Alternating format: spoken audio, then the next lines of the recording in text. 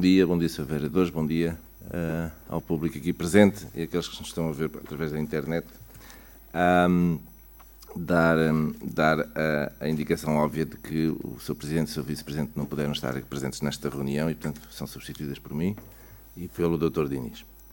Um, antes da ordem de trabalhos passava, então, ao período antes da ordem do dia, se algum dos vereadores quiser usar da palavra. Sr. Vereadora Célia, se faz favor. Antes de mais, cumprimentava a mesa, senhores vereadores, estimado público presente. Uh, tinha aqui um documento que vou passar a ler para ficar a pensar a ata e diz respeito à retificação de sentido de voto da última reunião de Câmara.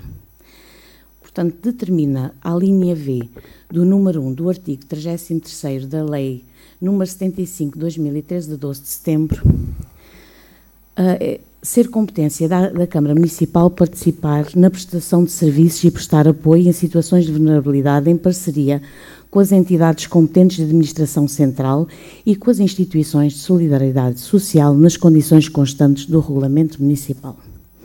De facto, a proposta apresentada para discussão e votação ao Executivo, constante no ponto número 11 da Ordem de Trabalhos, nomeadamente atribuição de subsídio à Santa Casa da Misericórdia de Castro Marim, apoio social a municípios em situação de vulnerabilidade social, proposta número 464-2018, não continha especificamente os contornos da petição e, numa primeira análise, os vereadores do Partido Socialista apenas consideraram estar na presença de mais uma cooperação e colaboração financeira com a Santa Casa da Misericórdia de Castro Marim, entidade com quem, em miúdo e frequentes vezes, colaboramos em ações de caráter social e daí entendermos esta ação enquadrável num propósito bondoso, tendo assumido esta tendência. Tendo assumido esta tendência sem positiva que o tema nos merece. Não obstante as nossas considerações de presente dúvida, por considerarmos da necessidade efetiva de consumação de regulamentação municipal própria que encaixe todas estas participações financeiras e outras, optámos pela abstenção, pela abstenção do ponto. Não nos foi, numa primeira fase, explicada corretamente esta situação por parte da senhora Vice-Presidente do Executivo da existência de vulnerabilidade financeira e patrimonial patrimonial ou não da possível beneficiária. Incerteza que nos conduziu à situação de abstenção. Sucedendo que, tempo depois e já no período de intervenção do público, eis que o Sr. Provedor da Santa Casa da Misericórdia de Castro Marim, entidade envolvida que formalizou diretamente o pedido de apoio financeiro ao Sr. Presidente da Câmara Municipal, interveio e fez uma explicação exaustiva à situação da petição para a possível beneficiária que admite ser possuidora de património referenciável e que ofere rendimentos do arrendamento de património que rondará os 800 euros mensais. Mais disse o Sr. Provedor que, assim sendo, não teria naturalmente esta petição uma aceitação de apoio caso a dita senhora fosse diretamente junto dos serviços sociais do município. Aliás, como foi bem expresso pelo Sr. Vereador Dr. Geste Vens, que afirmou ser essa a via oficial e natural do pedido e não por via enviesada de eventual fuga à normalidade dos procedimentos administrativos. Perante este facto de declarações públicas, os vereadores do Partido Socialista ficaram conhecedores da realidade e não podem assim ficar indiferentes à sua responsabilidade financeira face à realidade objetiva, já que em presença de mera descrição no campo financeiro e patrimonial, a que a posteriori acederam, estão agora perfeitamente sustentados para produzirem posição diferente daquela que sustentou a dúvida inicial e, assim sendo, venho solicitar a Vossa Excelência que considere sem efeito prático a anterior votação, procedendo assim à sua retificação, passando a posição de voto contra para que produza os devidos e legais efeitos. Tenho dito.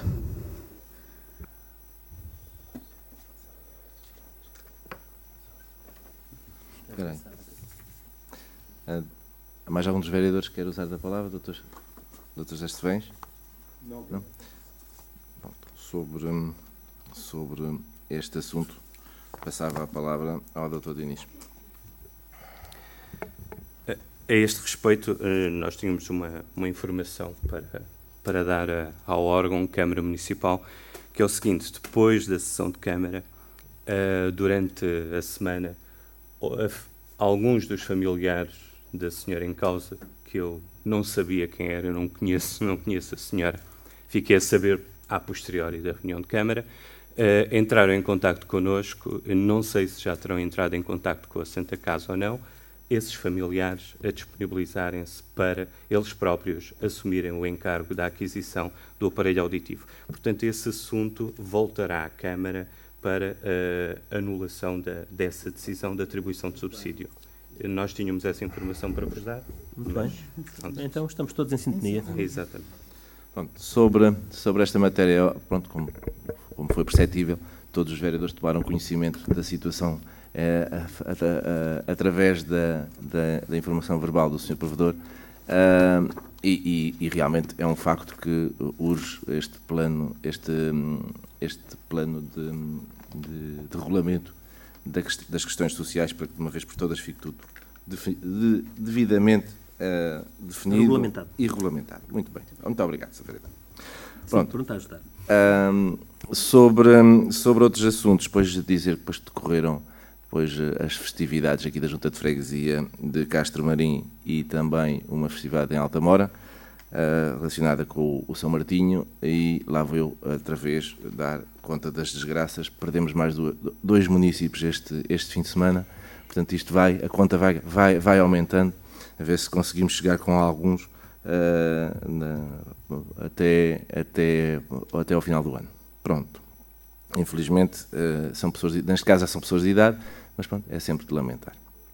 Uh, acho que é um, um sentimento, dizemos todos, uh, os pésamos, os sentimentos à família dos respectivas pessoas que faleceram.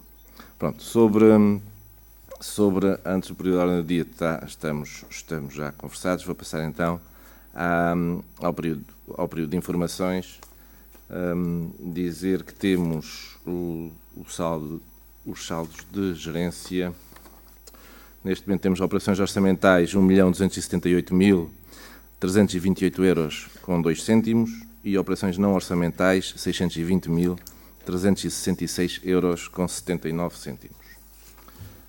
Foi distribuído aos senhores vereadores, em título de informação, um, um, um, uma, um, um documento sobre a cota extraordinária da, da Associação Odiana um, e portanto, não é um assunto, isto é um assunto apenas informativo e uma definição relativamente aos, aos, hum, aos, aos registros e, aos e às informações que se dá à entidade reguladora das águas, ou seja, ERSAR, sobre as questões das imputações dos ativos relativamente ao exercício da atividade de fornecimento, abastecimento de água potável para consumo doméstico.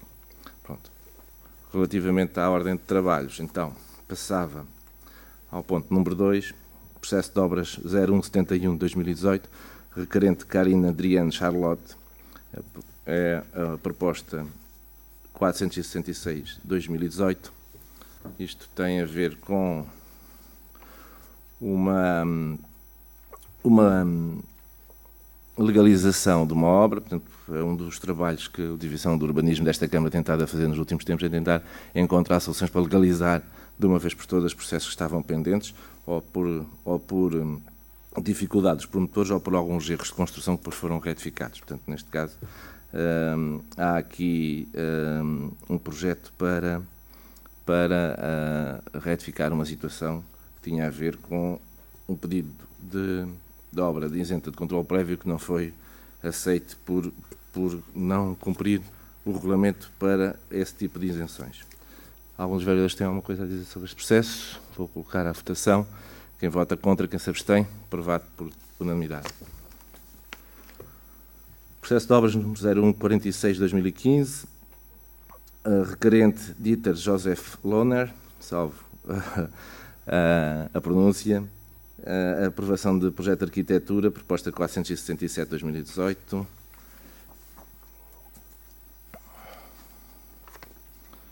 Portanto, eh, mais uma vez, a legalização de um armazém de 64 metros e um anexo de 11 metros quadrados que pretende construir uns muros.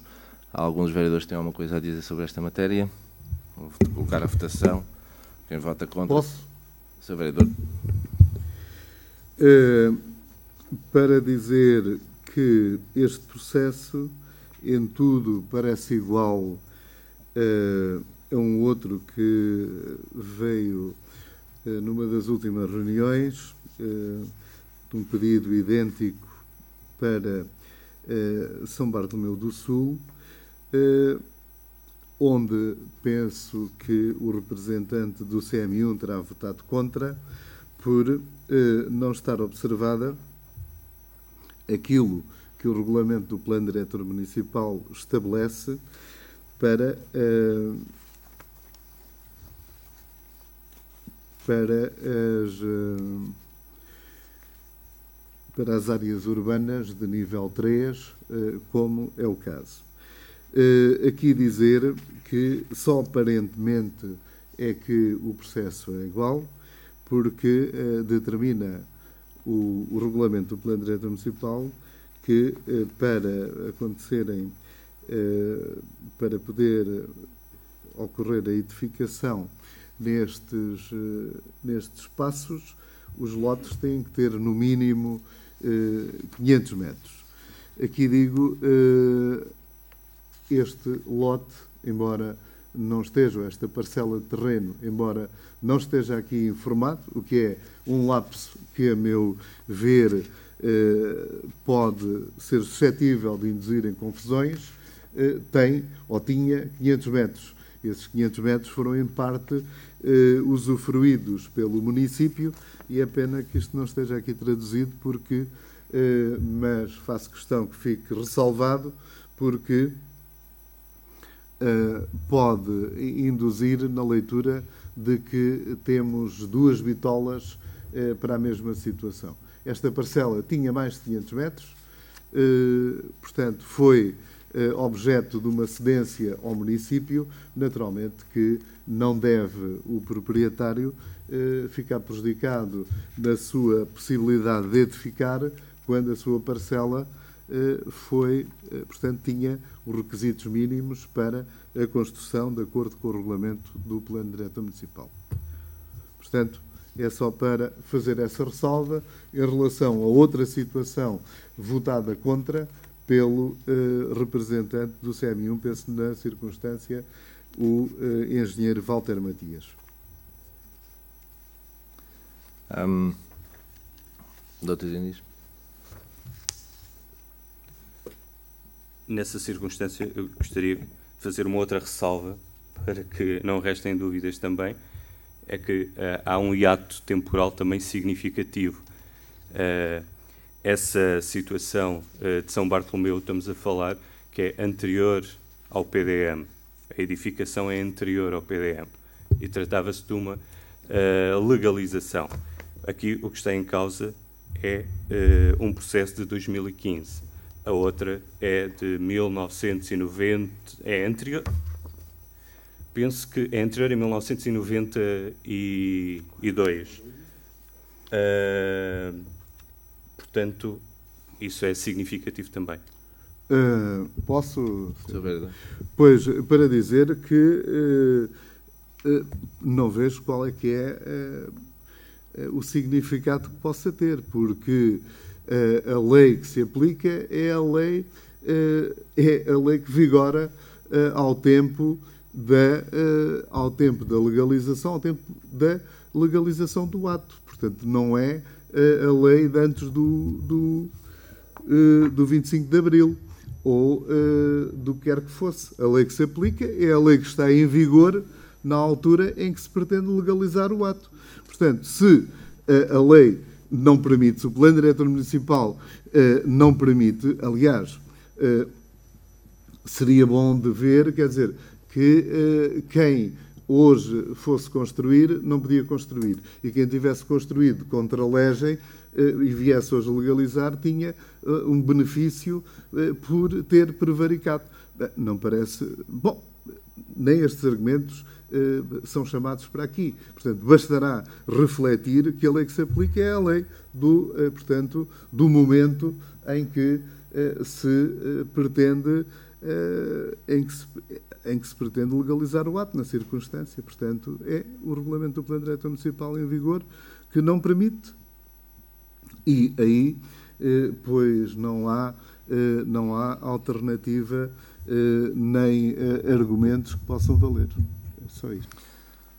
Pronto, sobre isto estamos confiantes que o nosso Departamento Técnico analisa as coisas. Agradeço ao Sr. Vereador também ter feito esta ressalva. Acho que é importante que nestas informações venha a dimensão do terreno no início do processo de construção, para que termos também noção de que houve efetivamente parcelas que foram, foram adstritas depois ao domínio público e que não estão aqui contabilizadas e, portanto, e que legalizam na base, na base dão logo a ideia do que é o, a, a viabilidade e a legalidade do processo não, não havendo mais, mais assunto, porque sinceramente acho que estas coisas, porque se começarmos com estas discussões de, de, de princípio sobre a legalidade das obras, iríamos ter aqui depois, que, provavelmente, uh, uh, porque é que as casas antes de 51 têm ou não direito a, determinado tipo de projetos e, portanto, por aí há, há sempre algumas salvaguardas inscritas em, em sete PDM para, determinados, para determinadas análises. Depois cabe aos departamentos jurídicos uh, analisar uh, se elas têm ou não algum conforto perante a lei e se assim não for, estão aí os tribunais para, para decidir. Pronto. Uh, sobre sobre o, esta proposta, coloco então à votação. Quem vota contra, quem se abstém, aprovado por unanimidade. Processo de obras 0173-2018, requerente Fernando dos Santos Cordeiro, aprovação condicionada ao projeto de arquitetura, projeto número 468-2018. Posso? Bem, aqui eh, não há nada eh, a referir. Eh, o que me parece é que o município não pode ter dois pesos e duas medidas. E já sob a égide deste presidente, houve eh, situações iguais ou idênticas a esta, idênticas a esta, que tiveram tratamento eh, diferente. Portanto, será bom que os serviços levem isso em atenção, porque uh, estes casos por, uh, devem, ser, devem ser levados à inspeção para que a inspeção possa uh, definir qual é que é o alinhamento correto e, portanto, é bom que, é bom que os serviços técnicos que preparam as decisões para o Executivo Municipal e, eh, nomeadamente para o Sr. Presidente, que tenham uma linha uniforme para conduzir estas situações, eh, sob pena de eh, poderem incorrer em responsabilidade e fazerem incorrer em responsabilidade, o que será de todo de evitar. Pronto, sobre este processo, pois, uh, dizer-vos que é, ao fim e ao cabo, uh, uma uma, uma, havia uma decisão de demolir um anexo que tinha sido construído, o promotor ou o dono da propriedade pretende que esse anexo seja uh, alterado, demolindo algumas paredes e a cobertura transformada em pérgola, permitindo assim que seja apenas considerado como uma zona uh, isenta de controle prévio, se fosse esse o caso. Neste caso, ele apresenta, porque tem aqui algumas alterações, apresenta um projeto para o efeito aqui uh, é dizer muito sinceramente o seguinte: naquilo que é a lei, e, isto na continuidade do ponto anterior, às vezes há, às vezes não, pelas leis há sempre uh, uh, leituras que, que, para isso existem juristas que a gente encontra conforto nas palavras deles e, nas, e, na, e nos pareceres que eles emitem. E, portanto, houve neste, em determinado momento, um parecer jurídico sobre esta questão das, hum, das continuidades dos edifícios, eh, que eh, foi tomado em consideração pelos serviços técnicos desta Casa. Entretanto, eh, entendeu-se que também cumpria um outro parecer, que era aquele que vigorava até então, considerando que as pérgolas e os muros, ou seja, que tipo de edificado fosse, pretendia, acabavam por permitir uh, uh, que um, dois edifícios uh, mais ou menos isolados estivessem, ao fim e ao cabo, se fossem considerados como só um. Pronto. dizer que, apesar. Deixe-me terminar. Deixe-me terminar, Sr. Vereador. Era só para me localizar, é porque pensam que estamos a falar. Mas deixe-me terminar, Sr. Vereador. Obrigado. Dizer o seguinte. em ambas, com, com ambas as análises jurídicas, nenhum dos promotores foi, uh, foi inviabilizado no seu projeto. Portanto, conseguimos encontrar a solução uh, para as suas, as, suas, ideias, as suas realizações. Portanto, é um facto andar trocando parecer jurídico conforme troca a camisola, não é o caso. Portanto, houve uma, uma, uma interpretação em determinado momento, definiu-se em, em, em, consequência dessa interpretação, agora estamos a utilizar outra.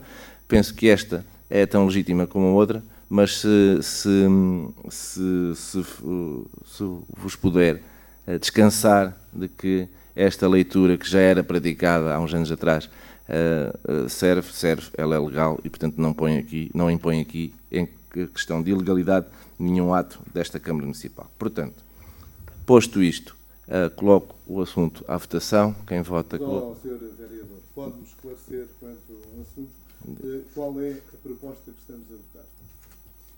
Uh, penso que tem os documentos consigo, Sr. Vereador. Uh, Parece-me que é o ponto número 4 do Sr. Fernando dos Santos Cordeiro, que é o processo de obras 0173 de 2018. É que nós podemos equivocar às vezes.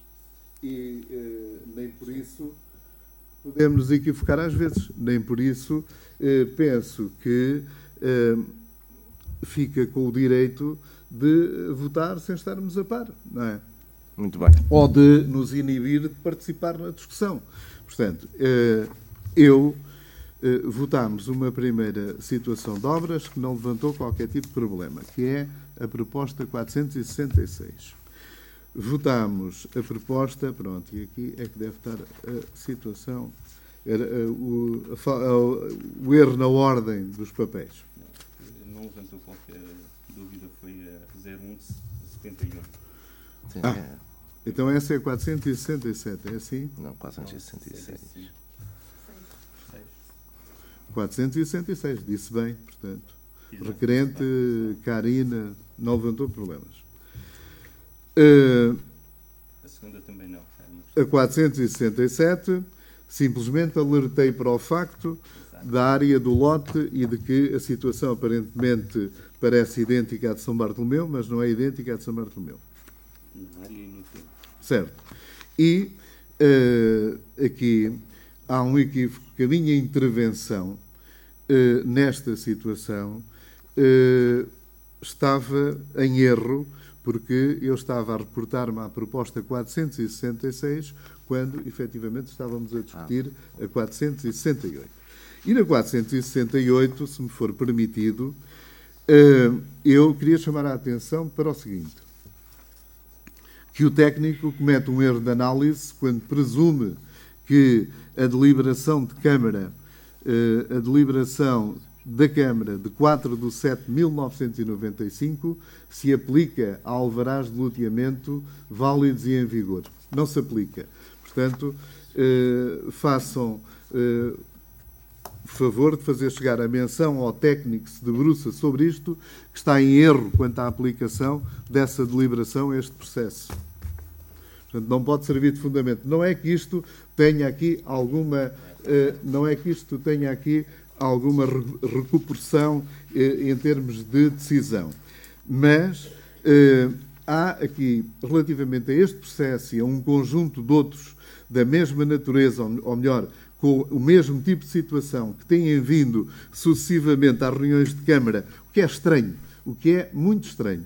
Portanto, que quem tinha feito eh, anexos eh, que não podia fazer num conjunto de urbanizações e que estavam eh, e que eram decisões eh, que eh, não podiam eh, conformar-se com as normas em vigor e das duas uma, ou havia demolição ou eh, teria que ser substituído por alguma coisa que tivesse cabimento à luz das normas em vigor, e então aparece agora um conjunto de processos, este deve ser o sexto ou sétimo, em que os eh, requerentes vêm então pedir para. Eh, vêm então pedir, não.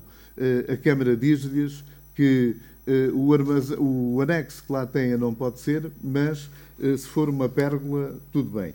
Eh, eu espero é que no final se confirme que estão lá as pérgolas e que não ficaram na mesma as obras que não podiam ser aprovadas. Portanto, que a fiscalização e que antes da utilização isso seja devidamente confirmado, porque nós vamos estar atentos a estes processos. Muito bem, Sr. Vereador. Estamos todos atentos uh, aos processos de urbanização que ao longo destes anos todos têm vindo, uh, uh, aos processos de obras têm vindo a, a, a, ser discutidos nesta Câmara e, portanto, este será mais um que, obviamente, a nossa equipa de fiscalização terá a responsabilidade de verificar no, em loco se as deliberações municipais são cumpridas. muito obrigado por essa ressalva. Ponho então à votação. Quem vota contra, quem se abstém, aprovado por unanimidade. Ponto número 5. Cedência de faixa de terreno requerente Manuel Ferreira dos Santos, intenção de rejeitar. Ora bem. Uh... Dá-me só. Já lhe passo Sim. a palavra sobre ele. Tenha abandonado.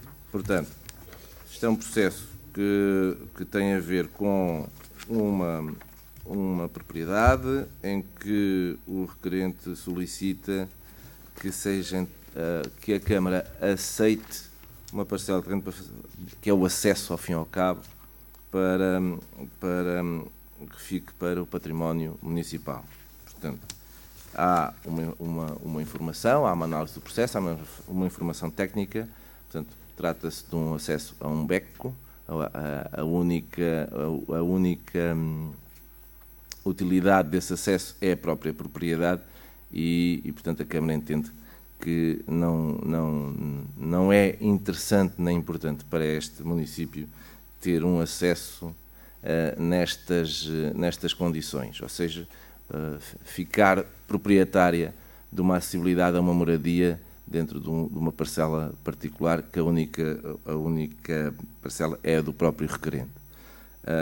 nesta, posso-vos dizer ainda que neste processo, depois de conversado com o promotor, ele vem apresentar uma pequena alteração, portanto, mas não é essa que vamos votar, portanto, ele vinha apresentar uma, uma, uma, pequena alteração de considerar mais uns quantos metros para dentro de um lote de terreno que está ali ao lado e, portanto, que já, já entrava, que também é dele, pelo que percebo, já entrava um bocadinho mais para a frente, só além dos limites da casa do senhor, é, em que a Câmara diz, não é por 2 metros, 3 metros, 4 metros, não é assim, quer dizer, ou, ou, ou a acessibilidade seria uh, seria total para uh, projetar o futuro, ou então só para chegar à casa do senhor também, convenhamos que senão a Câmara Municipal começaria a ser detentora de uma série de acessibilidades dentro das propriedades das pessoas e isto não teria limite. Pronto, ponho o processo à, à discussão.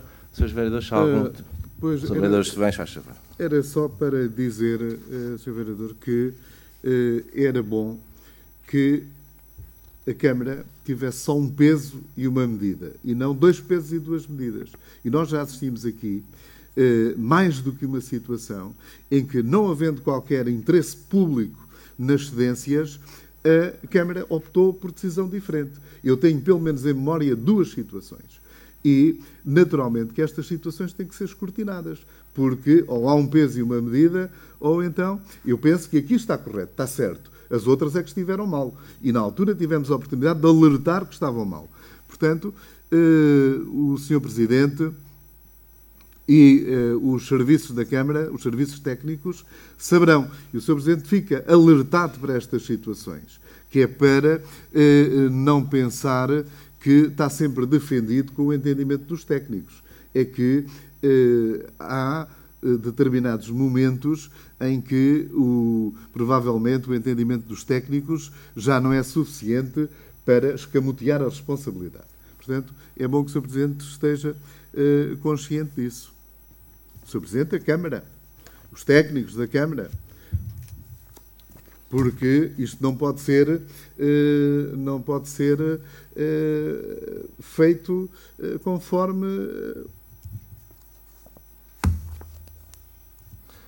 Um, não sei bem o quê, mas uh, parece-me claro que isto tem que ser sempre com o mesmo critério, com o mesmo alinhamento, sou pena de uh, podermos aqui uh, ficar um bocado perturbados e sem saber. Doutor Diniz, faz favor. Hoje uh, já é pelo menos a segunda vez que o seu vereador acusa um, o, o seu presidente de usar dois pesos e duas medidas. Uh, e depois não identifica as situações. Numa, identificou concretamente qual era a situação. Esqueceu-se, é que o imóvel já existia e trata-se de uma casa uh, de habitação que já existia há bastante tempo e que, na altura, quando foi construída, não houve projeto e o senhor veio agora, recentemente, pedir a legalização. E a única coisa que impedia a legalização do imóvel, segundo o seu vereador, uh, Gesto Vens, era o facto da parcela ter uh, uma área inferior a 500 metros quadrados.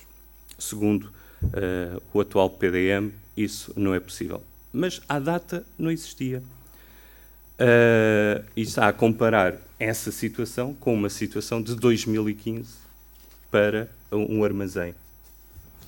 Agora uh, está a levantar esta situação que eu não sei do que é que está a falar uh, e o que eu acho é que uma coisa é nós recebermos uma parcela de terreno e criarmos um problema para a Câmara Municipal, que era o que iria acontecer aqui. E outra coisa é nós recebermos uma parcela de terreno para resolver um problema. Que eu presumo que é aquilo a que se poderá estar a referir. Posso?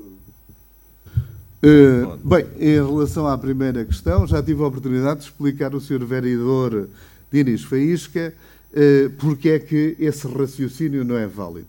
Eu penso que o Sr. Vereador, penso não, tenho a certeza que é um homem inteligente, provavelmente não está a falar para mim, há de estar a falar para o público que pode estar eh, menos preparado eh, na leitura destas coisas. Portanto, a isso chama-se demagogia, pura e simples.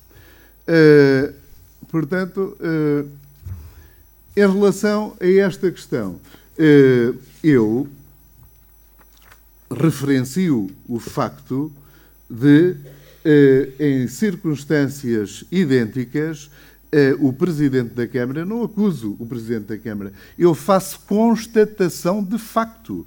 Faço constatação de facto. E não tenho que lhe oferecer tudo de bandeja, Sr. Vereador.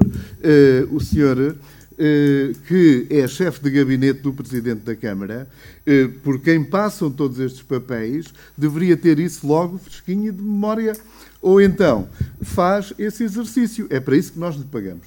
Pagamos-lhe para isso. Vai à Câmara, leva aqui esta situação, diz: olha, eh, nós hoje não recebemos uma parcela para o município que nos queriam oferecer e eh, os serviços técnicos argumentaram, dizendo que não fazia sentido, que eh, não havia qualquer interesse público, e o vereador José Estevães apontou-nos o dedo, dizendo que, noutras circunstâncias, eh, tínhamos tido eh, atitude diferente e que recebemos para o município eh, parcelas que eh, estavam em situação exatamente igual a esta. Portanto, isso até deu muita celeuma aqui, uma das situações deu muita celeuma aqui na Câmara, e eu penso que toda a gente terá memória disso. O Sr. Presidente, a Sra. Vice-Presidente, os serviços técnicos, porque isso foi, uh, foi uh, profundamente debatido.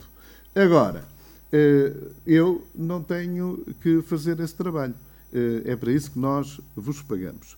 Portanto, senhor, eh, senhor vereador, eh, por um lado, peço-lhe o favor de não atentar contra a minha inteligência, que fica-lhe mal, é uma pessoa que eu considero e estimo, e fica-lhe mal atentar contra a minha inteligência, no que se refere à situação de São Bartolomeu, porque eh, era uma situação anterior, mas a lei que se aplica é aquela que está hoje em vigor, não é eh, a outra, é aquela que está em vigor. E a que está em vigor não permite. E o senhor vereador tem compreensão e inteligência suficiente para perceber isto. Portanto, eh, não atente contra a nossa inteligência, que lhe fica mal. Eh, esta é uma questão. A outra questão é eh, um caso que foi público. Eh, outro caso que não terá a mesma notoriedade que eu tenho em memória e que aconteceu a mesma coisa. Portanto, pesquisem se um destes dias são confrontados com isso por outra via. Muito obrigado. Sr. Vereador Diniz.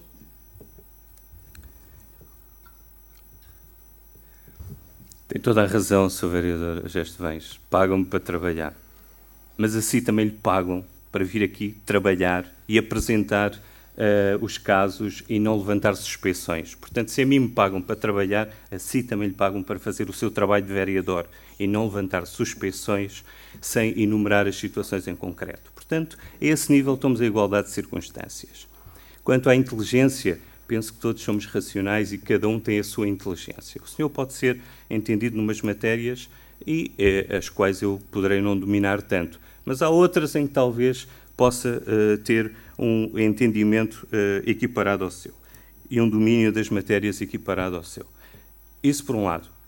Quanto à demagogia, demagogia é ter os problemas e guardá-los na gaveta, não os enfrentar e não os procurar resolver. Isso sim é que é demagogia. Demagogia é levantar situações e não as identificar. Isso sim é demagogia. Sabe? Agora, resolver problemas e dar a cara por, por eles não me parece ser. Bom.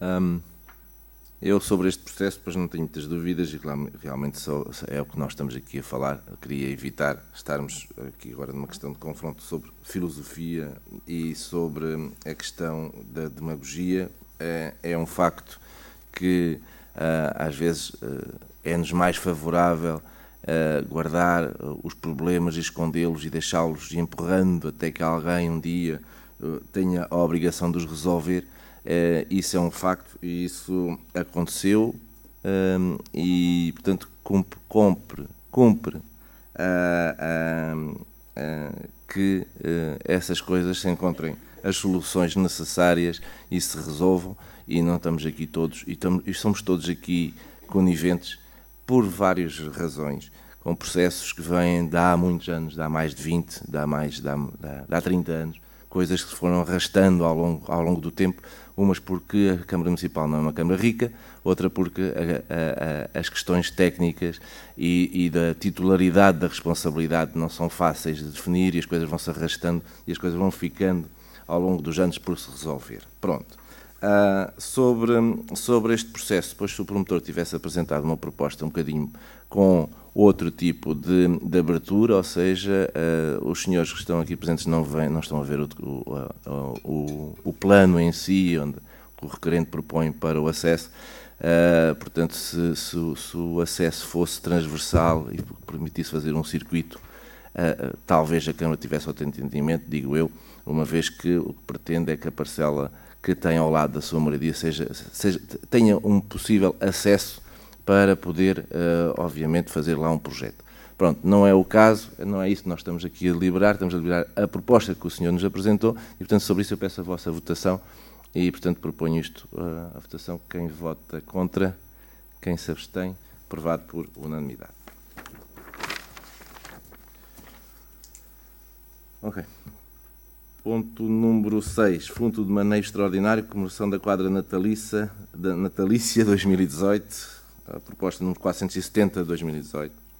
Portanto, é, o que pretende é criar um fundo de maneio de 1.800 euros para, que, que fica na esfera da doutora Clementina Castro, chefe da Unidade Orgânica, uh, tem relacionamento com estas coisas da cultura e do desporto e das questões sociais e portanto, para que possa adquirir as, um, uh, as prendas de Natal para as crianças, uh, quer Doutor dizer alguma coisa? Pronto, para as crianças do município. Pronto. Um, acho que isto é um procedimento normal, corrente, acho, porque é a primeira vez que acompanho estas coisas aqui deste município e, portanto, não vou dizer qualquer comentário. Se o vereador tiver alguma coisa a dizer, não. Proponho então a votação. Quem vota contra, é quem se abstém, aprovado por unanimidade.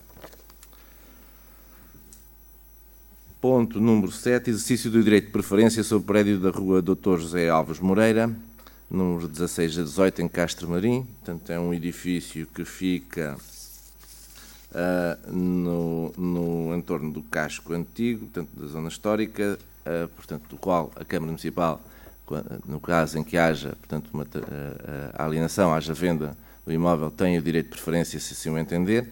Trata-se de um edifício que fica na fachada um bocadinho mais, mais acima na, da Câmara Municipal, portanto quase, quase na zona oposta à escadaria da, da igreja matriz. Não há o, o preço que está, que está da, da, alienação é um preço de mercado, portanto a Câmara Municipal não entende que o imóvel seja interessante para a Câmara, portanto o que propõe é que não, não, não exerça o seu direito de preferência. Não sei se algum dos seus vereadores quer dizer alguma coisa.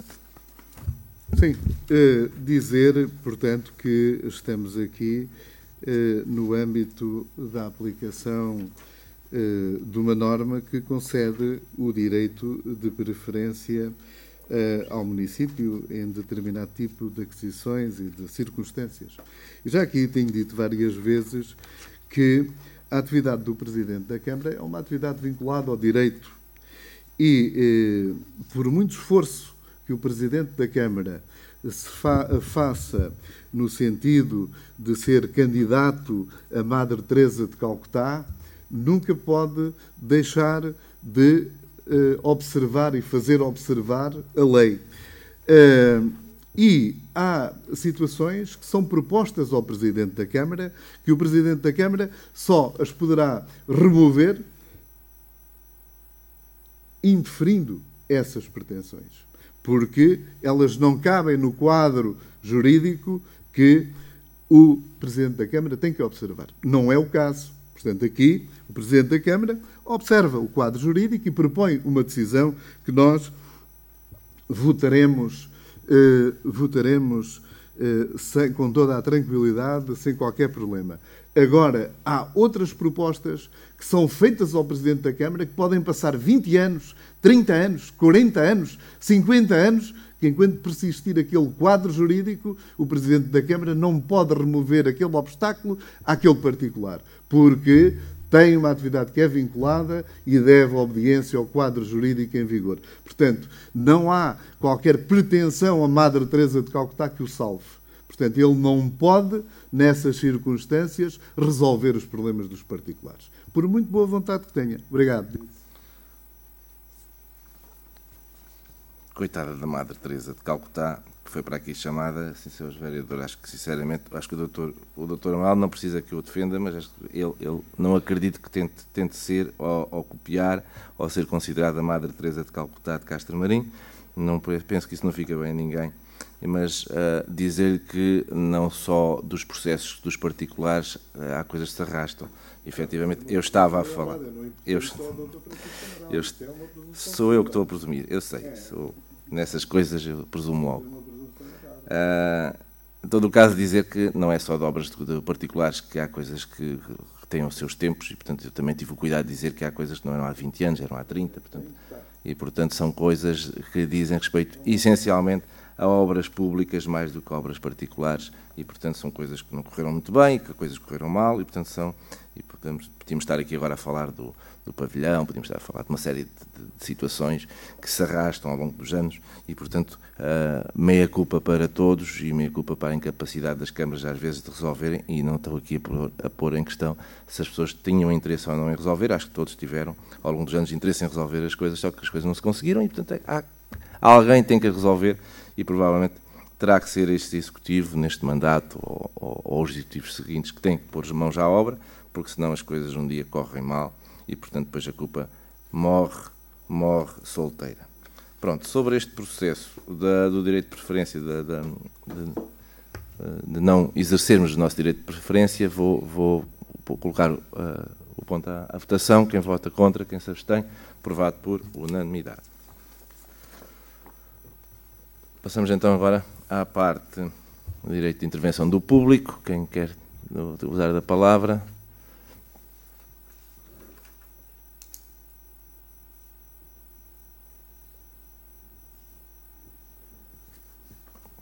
Pode dizer o seu nome, se faz favor.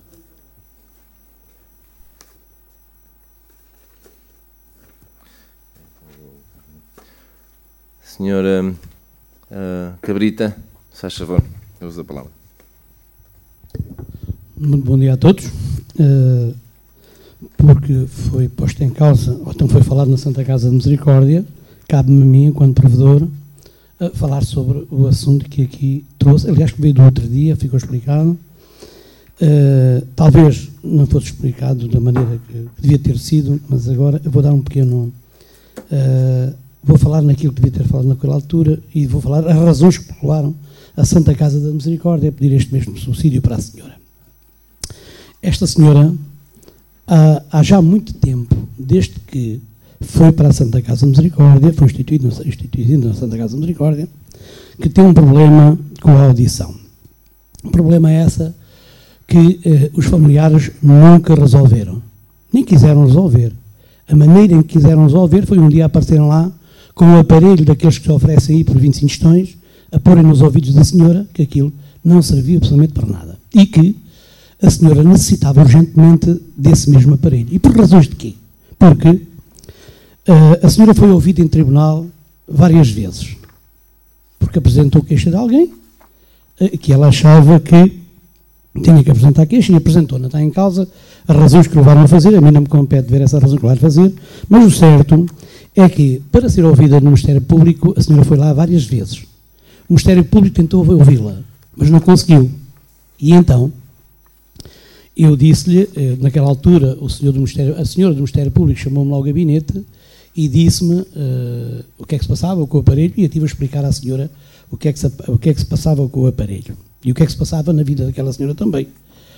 Uh, e então fui-lhe dizer e disse naquela altura que iríamos tratar de conseguir que a senhora conseguisse ouvir para se dirigir ao, ao tribunal. O tribunal, como demorou mais um bocadinho de normal, porque aquilo tem que se marcar consultas e toda a gente sabe que as consultas demoram o seu tempo e às vezes muito, porque possivelmente os médicos têm muito que fazer e enfaram então, espera aí, valha-me Deus, e esta consulta demorou vários, vários dias há vários meses. E então, uh, a, a, quando foi à consulta, a uh, o médico achou por bem que a senhora tinha falta. Vou só ver aqui um momentinho, só faz favor. Se não se importam, esperar só um momentinho, que eu tenho aqui. Uh, não, não sei. Bem, mas a senhora achou que a senhora tinha falta dos aparelhos, a médica, os, uh, os aparelhos para o ouvido direito e ouvido esquerdo. Mas o tribunal, como demorava muito esta coisa toda, uh, fez um ofício para a Santa Casa da Misericórdia, em que solicita ao lar, onde se encontra a residir a queixosa, para em 15 dias informar a mesma se possui aparelho auditivo que possibilita a sua inquirição. O que quer dizer que ela não conseguia ser inquirida. E os familiares, durante este um ou dois anos que ela esteve e que necessitava desse aparelho, nada fizeram para lhe dar. Agora, como a senhora tem que ir ao tribunal e terá que dizer depois que não, era, que não eram os familiares que pagavam assim a Santa Casa Misericórdia, ou a Câmara Municipal, possivelmente chamou a atenção isso tudo. Mas a Santa Casa respondeu ao Tribunal. Onde é que estás tu? Essa tem que estar para aqui. Eu tinha aqui agora muito comigo. Perdoem-me o tempo. Uh, onde é que está isto? Ora, Zé Humberto, só faz favor, peço imenso. Está aqui. Senhora Procuradora à senhora Procuradora, eu fiz um ofício à senhora Procuradora, qual é o seguinte, em resposta ao ofício de Vossa Excelência, número tal, datado tal, processo tal, cumpre informar que a senhora Maria Filipa Pereira Bento deslocou-se a Faro no dia 27 de 8 de 2018 a uma consulta ao Regista com a, do, a doutora Clara Riba Ladeira, a qual pede prótese auditiva para o ouvido direito e esquerdo estando neste momento a Santa Casa Misericórdia, a Enfermaria, a aguardar os orçamentos pedidos, porque fomos nós que pedimos orçamentos, porque os familiares não pediram orçamentos para, para, para nada, nem quiseram saber da senhora, fomos nós que pedimos a três entidades para que possa ser pedido auxílio financeiro à Câmara Municipal, já que a Dona Maria Filipa não tem condições financeiras para poder fazer. Disto foi informado o Ministério Público. Mas.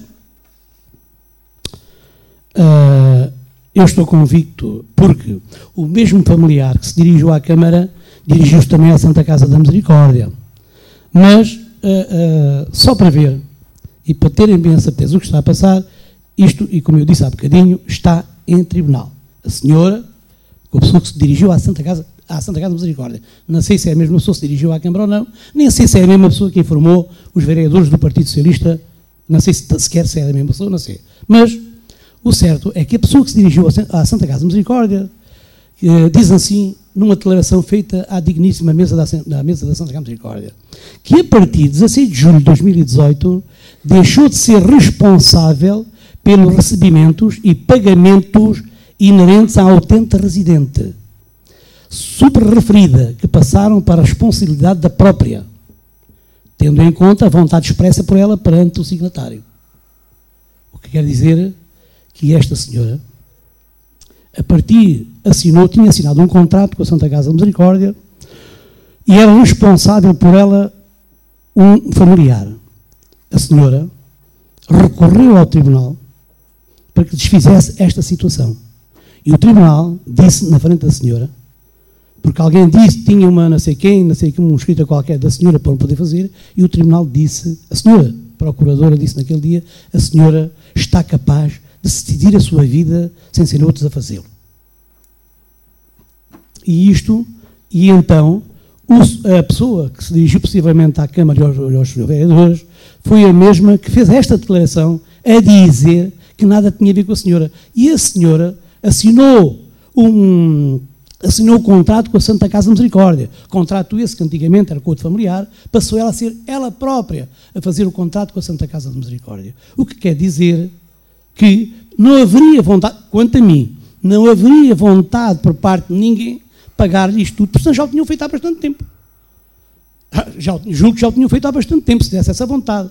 Agora, possivelmente, porque no tribunal irá aparecer, ou iria aparecer, o pagamento deste aparelho por parte da entidade de Câmara Municipal, ou do subsidiado à Santa Casa para poder pagar, o problema aparece logo aqui, e valha-me Deus. É um problema enorme. Eu concordo, aquilo que o doutor Zé Esteves disse no outro dia, e votou contra, votou contra, votou contra. Ele tinha as suas razões, apresentou-as, apresentou-as porque era necessário, julgo eu, porque há um, um regulamento na Câmara para atender essas, esses, esses assuntos. Eu, aí, disse-lhe também as razões porque é que não devia ter feito, porque é que não o fiz e porque é que não se fez, porque estava convencido, e estou convencido, que ela não terá esse direito. Porque a senhora, e eu disse naquela altura, se calhar fiz mal, não devia tê-lo dito, não devia, não devia me importar muito com estas coisas, fazer como certas pessoas, virar nas costas aos problemas, mas é por defeito, por defeito não consigo fazer. Por esse mesmo defeito, também fui chamada, fui chamada a atenção pelo Centro Regional de Segurança Social que tenham pessoas a mais na Santa Casa Misericórdia. Também expliquei que era preferível que as pessoas dormissem aí no campo com as galinhas ou dormissem num quarto com todas as condições que nós lhes podemos dar. E isto tudo é a minha maneira de estar, é a minha maneira de ser. Olhar pelos outros. E tenho feito ao longo da minha vida e possivelmente irei ter consequências graves destas minhas atitudes. Mas, claro, aceito-os de bom grado, porque sei que estou a tentar ajudar as pessoas. E não me importa da maneira com que o faça. Tenho é que fazê-lo para que as pessoas se sintam bem e não sejam perseguidas nem por nada nem por ninguém. E tenham o resto da sua vida ah, sem problemas, descansadas e que alguém olhe por elas. E como ninguém quer olhar, e, e, respondendo ainda a esse, esse, regulamento, e que eu concordo, nas palavras do Dr. Zé fez naquela altura, mas digo-lhes muito sinceramente, esse regulamento já devia ter sido feito, ou tão modificado, ou alterado, há bastante tempo, porque há situações e situações. E esta é uma delas. E outras mais que nós conhecemos. E não foi só esta. Não é só esta que a Santa Casa de Misericórdia intervém. Olhe, aqui há tempos atrás, e para ficarmos bem daquilo que, que a Santa Casa de Misericórdia faz e os motivos que o faz, aqui não temos motivos nenhums, nem recebe daqui absolutamente nada, a não ser, normalmente e mensalmente, aquilo que a senhora paga à Santa Casa de Misericórdia. Vivia numa casa de uma nora em São Bartolomeu, um senhor durante anos e que ninguém, faz caso, ninguém fez caso dele. Quando fomos chamados, um dia, eu próprio desloquei-me ao local e trouxemos o Senhor de imediatamente para a Santa Casa da Misericórdia, porque nem um porco, nem um porco, e eu conheço muitos, vivia naquelas circunstâncias. E eu trouxe de imediato para a Santa Casa da Misericórdia, o homem tinha 57 anos, se não me engano. Trouxe para a Santa Casa, demos banho, tratámos, vamos imediatamente ao médico. O médico remeteu imediatamente para, para o Hospital de Real Santo António. Do Hospital de Real Santo António foi para Faro e em Faro faleceu. Porque ninguém neste Conselho, ninguém, todos aqueles que falam dizem, e dizem, deviam dedicar-se mais aos outros e não dedicar-se mais a tirar dos outros. E foi isso que eu faço. Poderia estar enganado Poderia ter cometido um erro, mas cometo sabendo que o fiz para ajudar alguém. Se têm dúvidas depois, perguntem ao tribunal. Foi o próprio tribunal, a, procuradora, que disse que aquela senhora tinha o direito, tinha, estava em condições de definir a sua própria vida. E tanto a definiu que tinha um contrato feito em que toda a gente ia receber o dinheiro menos ela, E o contrato, o contrato de arrendamento neste momento está em nome dela. Não está em nome de alguém, está mesmo em nome dela. Portanto, a senhora tem, tem condições necessárias para. E não sou eu que para fazer, mas o Tribunal tem condições necessárias para resolver a sua vida. Portanto, pronto, a, a Câmara Municipal resolveu, naquela altura tinha resolvido favoravelmente ao subsídio da Santa Casa Misericórdia.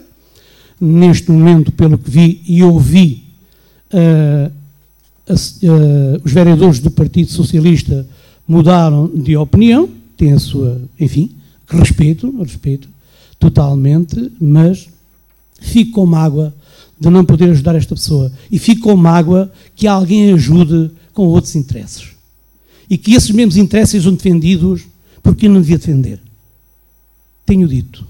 E obrigado. E espero continuar a defender toda a gente como tenho feito até aqui. Muito obrigado. Senhor António Cavaco, se faz favor.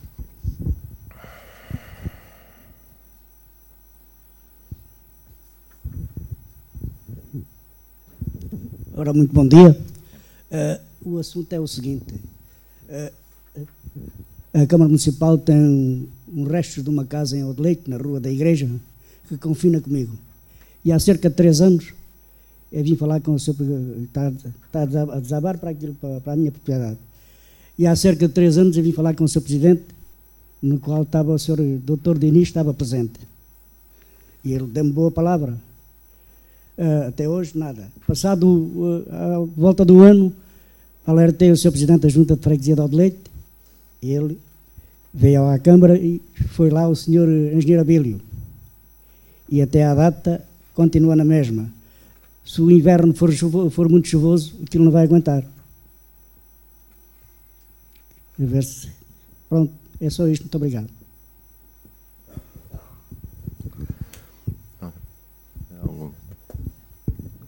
Obrigado. Algum dos vereadores. Ah, ninguém quer mais usar da palavra? Algum dos vereadores quer usar da palavra? Eu queria aqui, relativamente a esta questão que o Sr. Cabrita levantou, queria só fazer um esclarecimento, um breve esclarecimento, que eh, na, na minha posição eh, não houve, nem há, eh, qualquer crítica à atitude do provedor. Eu, provavelmente, se fosse o provedor, até poderia agir de forma igual ou próxima ou idêntica.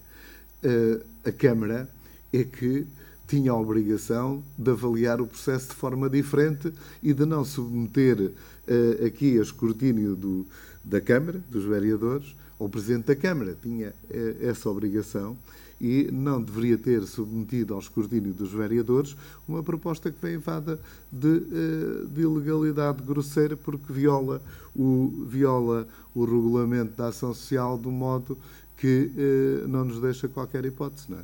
Era só isto. Eu, sobre esta matéria, eh, dizer o seguinte: o, uh, os dramas e a, a e a, a capacidade de, de, uma pessoa que está à frente ou que trabalha diariamente nestas questões sociais, uh, e neste caso estávamos a falar agora do seu provedor, mas acho que isto é abrangente a muita gente, é, é, é, é muito complexo e deixa muitas uh, uh, marcas ao longo da sua vida.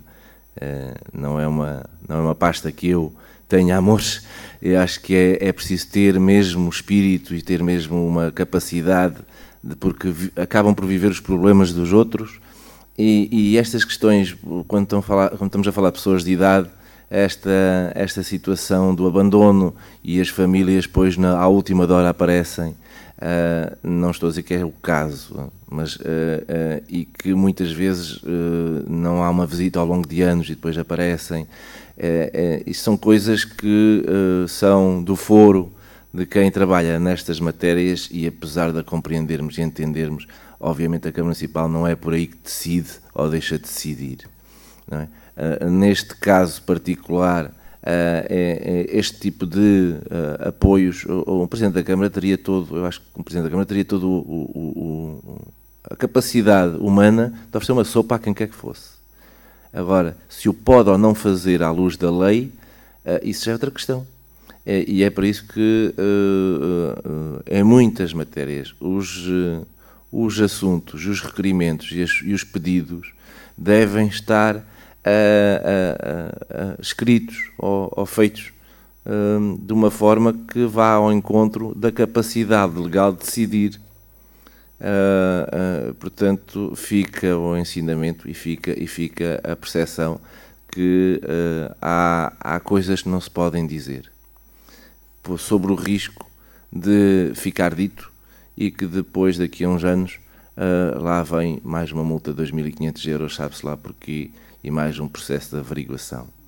Uh, eu, já, eu já termino. Uh, pronto, sobre este assunto eu não tinha muito mais a dizer. Sobre um, a questão do Sr. António Cavaco, nós vamos manter o registro, pois já percebo que se o Dr. Diniz e o engenheiro Abílio já estão por dentro do assunto, é, é, verificar, ao fim e ao cabo, eu percebo, percebo a situação, quer dizer, há uma casa em ruínas, há umidade, já há pedras, já há, há, há paredes meias e, e as coisas têm que ser resolvidas ou com, ou, ou, ou, com uma retificação, ou de uma vez por todas com, com um projeto que ponha aquilo eh, em condições de não, não incomodar o vizinho, que é isso que estamos aqui a falar. Não é? Claro, muito bem. Uh, doutor, uh, uh, perdão, engenheiro Mário, faz favor. Muito obrigado, Sr. Presidente. Uh, já no fim da sessão, enfim, porque é a primeira vez que vou usar da palavra, uh, cumprimento todos os presentes, embora também já com uh, o estilo de despedida. Mas não podia deixar de dizer qualquer coisa sobre este assunto e, sobretudo, sobre a questão também da Santa Casa da Misericórdia, clarificar aqui, aliás, como foi dito também na nossa, no nosso documento, que foi lido pela vereadora Célia, que isto não é uma questão uh, de boa ou má vontade, não, é, não se trata de uma questão, nem tem nada uh, contra a Santa Casa da Misericórdia e contra a sua atuação meritória, de que todos nós somos testemunhas. Ou seja, até, como foi já dito aqui por todos, percebemos claramente, às vezes, os dilemas com que um provedor se debate diariamente para resolver situações e muitas vezes não encontrando naquilo que são os instrumentos à sua disposição capacidade para os resolver. E é isto de facto que se trata. A, a, a apreciação posterior por parte dos vereadores do Partido Socialista, embora, digamos, com algum desconforto, é apenas na, na, no sentido de perseguir e de cumprir aquilo que é a legalidade, sentindo que a sua atuação não estava completamente de acordo com aquilo que os instrumentos legais lhe possibilitavam que pudesse uh, a sua atuação. Portanto, foi isso no fundo, foi uma tentativa de corrigir essa atuação, um, para que tudo fique conforme, porque a questão aqui não se trata, como já foi aqui por diversas vezes dito, não se trata de boa vontade, uh, trata-se simplesmente de uh, poder aplicar legalmente os instrumentos que estão à disposição das várias instituições, nomeadamente esta de, da Câmara Municipal de Castro Marim. E, portanto, foi nesse sentido, gostava de deixar isso bem, bem, bem sublinhado, uh, e que nestas questões não é só também dizer isto, não é, não é só o que não se deve dizer, é sobretudo o que não se deve fazer. E há coisas que, independentemente do que se diz ou que não se diz, é aquilo que os instrumentos e os regimentos, sua, ou na sua ausência, permitem ou não permitem. E é isso que está em causa somente. Hum, estaríamos aqui, com certeza, todos disponíveis para arranjar outros instrumentos que pudessem até, de alguma forma, uh, ir ao encontro das necessidades daqueles que mais precisam. É dentro daquilo que são os instrumentos em vigor e possíveis, ou até outros que até podemos criar, desde que não firam a legalidade hum, atual. Era só isso. Muito obrigado.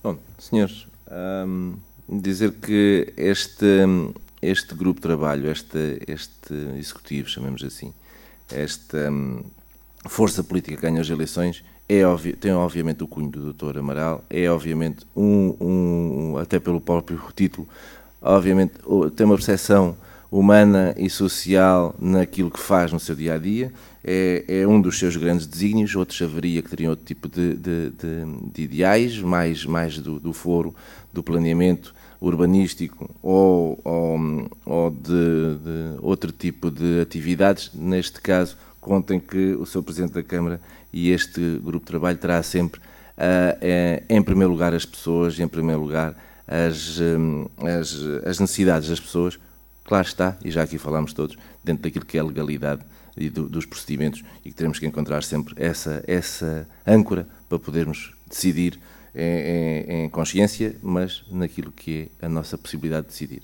Pronto, meus senhores, a senhora vereador, faz favor. É, é, não me leva mal, mas eu tenho que fazer um comentário para aquilo que são as suas palavras, porque, pois, nós gostaríamos de reconhecer esse humanismo e essa toda disponibilidade e vontade, mas não percebemos porque é que, tantas vezes incitado o Sr. Presidente, ainda não adequou o regulamento da ação social àquilo eh, que é eh, o seu humanismo e a sua vontade de fazer bem. É porque depois caímos num âmbito, num campo de arbitrariedade e de injustiça, sabe? É que há muitas pessoas que eh, abeiram-se dos serviços de ação social com determinado tipo de, de pretensões que são logo indeferidas ali ao balcão, porque não preenchem os requisitos esses vão embora e não têm qualquer apoio. E depois há outros que estão em situações idênticas, mas ou porque eh, são mais persistentes, ou porque eh, vão bater à porta do seu presidente, ou porque uma razão qualquer que não interessa, acabam por ver deferidas pretensões que não cabem nesse chapéu que o Sr. Presidente tem para poder funcionar e para, e para nos legitimar a nós a funcionarmos dessa maneira. Portanto, era bom que o Sr. Presidente, e na sequência daquilo eh, que também tinha sido eh, afirmado pelo Sr. Provedor, era bom que o, o, o Sr. Presidente já tivesse dedicado algum tempo a, a, a alterar o regulamento da ação social, adequando àquilo que é eh, a generosidade do seu coração. Portanto, aquilo que é a sua vontade de fazer bem. Portanto, e assim sim, assim é que nós todos aplaudíamos, porque podia eh, podia apoiar as rendas eh, de, das pessoas que ele entendesse, ou que nós entendêssemos que cabia lá na previsão da coisa, poderia dar cobertura a uma coisa que faz diariamente sem qualquer, eh, sem qualquer base legal, que é transportar toda a gente que aparece aos hospitais. Não tem base legal ele não tem eh, maneira como fazer isso. E ao fazer isso, que sabemos que é uma prática eh, diária, constante, ao estar a fazer isso, está eh, eh a descoberto de qualquer norma que o legitime. Portanto, eh, isso não é correto. Isso não é correto. Eh, o que era correto era que isso estivesse no campo de previsão de uma norma que o habilitasse a conceder esses apoios. Portanto, se é assim, eh, tão humanista, se quer tanto eh, resolver tantos problemas, pois eh, nós estamos aqui para o ajudar nessa matéria. Venha, o, venha lá o novo regulamento, venham lá as alterações e as revisões ao regulamento, que nós estaremos cá para apreciar e decidir a favor, a favor da população. Portanto, eh, é, eh, as palavras valem o que valem, é para não andarmos a laborar eternamente eh, no campo da demagogia. Disse. Senhor Dr. Diniz, faz favor. Em primeiro lugar, quero felicitar o Sr. Cabrita pelo, pela entrega total e generosa à causa uh, social aqui no nosso, no nosso Conselho. É aquela pessoa que está ao lado uh, dos problemas, ao lado das pessoas uh, mais carenciadas aqui do nosso Conselho, para as defender e para uh, procurar dar-lhes dignidade e condições de vida.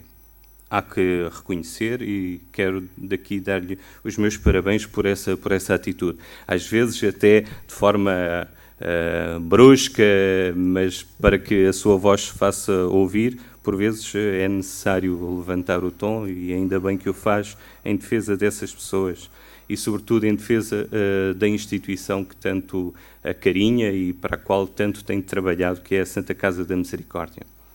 Depois uh, de dizer uh, isto, quero dizer o seguinte: estamos aqui a confundir as coisas. Estamos a confundir uma situação que é a aplicação do Regulamento da Ação Social com a aplicação uh, de um apoio à Santa Casa da Misericórdia. O que foi aqui deliberado foi um apoio à Santa Casa da Misericórdia. A Santa Casa da Misericórdia tinha uma pessoa uh, em situação difícil e, perante essa dificuldade de aquisição uh, de algo que lhe era fundamental para a sua vida com dignidade, a Santa Casa vem pedir um subsídio à Câmara Municipal. Como tem feito em muitas outras situações.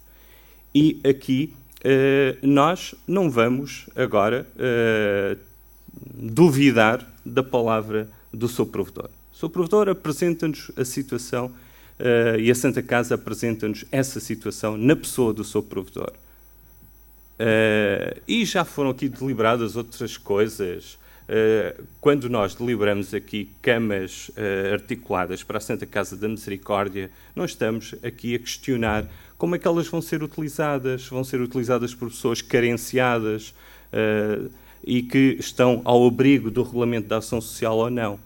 Nós estamos a apoiar a Santa Casa da Misericórdia na sua ação diária, constante, permanente, em defesa das pessoas carenciadas do nosso Conselho e não só.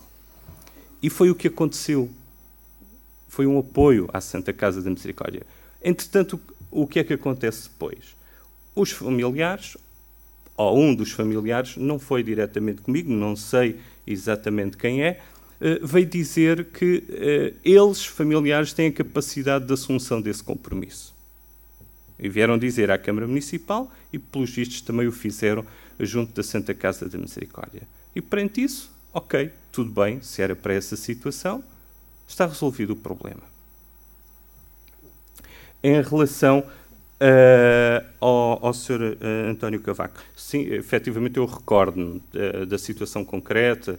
Uh, e na altura o que foi dito é que existe um projeto para, aquela, para aquele espaço, uh, um projeto municipal. Uh, existe e continua, existia e continua a existir. Uh, mas o projeto está com alguma dificuldade de avançar.